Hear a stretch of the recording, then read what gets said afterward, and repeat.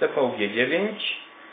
Ostatnio pojawia się wiele opinii na temat odwołania Mariusza Kamińskiego z funkcji szefa CBA. Wypowiadają się y, różni profesorowie, konstytucjonaliści, y, wielce utytułowani i każdy mówi co innego.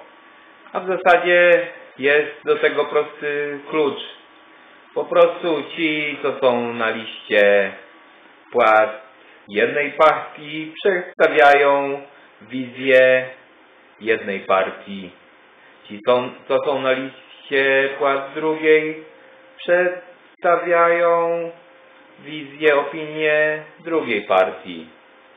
I tak właśnie wyglądają nasze elity, tak wyglądają nasi intelektualiści. Więcej komentarzy nie potrzeba.